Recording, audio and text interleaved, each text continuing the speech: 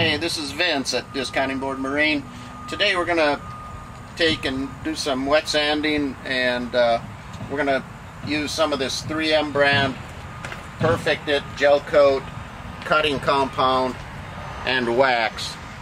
Uh, we're going to use some 600 grit wet dry sandpaper. We've got our bucket of water, electric buffer, and we've got a soft rag and we're just going to put some of this on the gel coat. You can see that it's pretty well oxidized and uh, we're going to go over the whole boat but for this purpose we're just going to do this one little section show you how it works. We're going to start by taking these at sections at a time.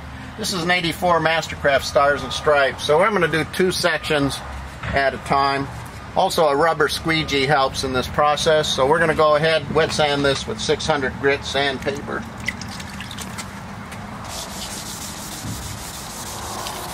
It's pretty heavily oxidized, so it's good to start a little aggressive with the 600.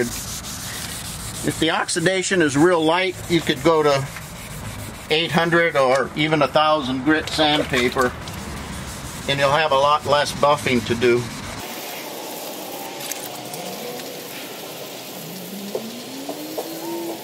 So you can use your squeegee just to get an idea on how far you're going. You also want to be careful not to get into any decals, um, scratch them up.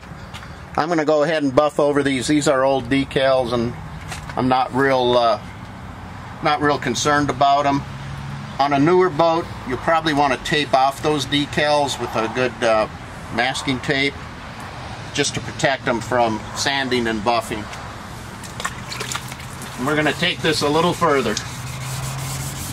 You can see right here it's nice and smooth and there's no uh, ripples or anything whereas here you can still see there's some oxidation some lines and so forth so we're going to sand this a little bit more get it looking like this and then we'll go ahead and hit it with the buffer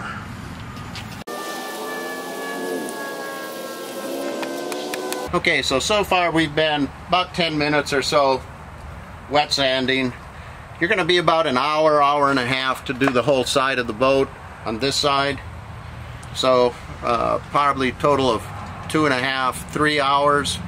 And uh, it's kind of a slow process, but we're going to go ahead and buff this out. Put some compound on the rag.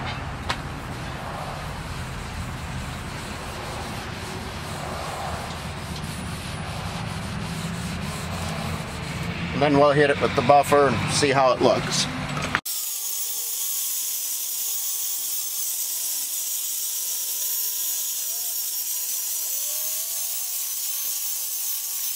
Okay, so that was just once over with the buffer.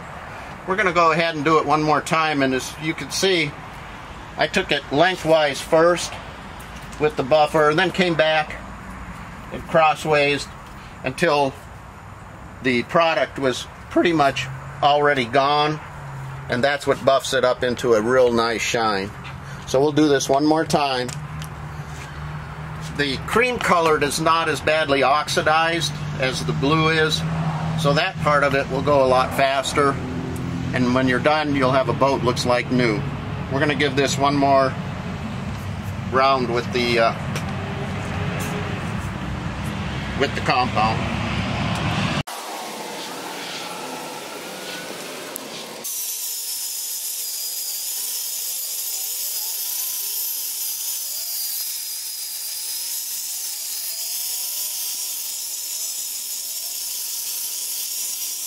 You can see we've got a real nice shine back. It's real nice and smooth. We do recommend you come back after you're all finished and give it one more good coat of wax to seal everything off and give it a little more protection. Uh, you want to get it in the sun. Look for any small sand scratches. That would indicate you might want to give it one more coat with the compound. And uh, just be patient let the machine and the compound do the work for you. You don't have to push real hard. Um, and If you get into it, have any questions, just give us a call. 803-345-0996 extension 3 and we'll be happy to go over the process. When we get it all finished, we'll come back and take a look at it, see how it looks. Thank you.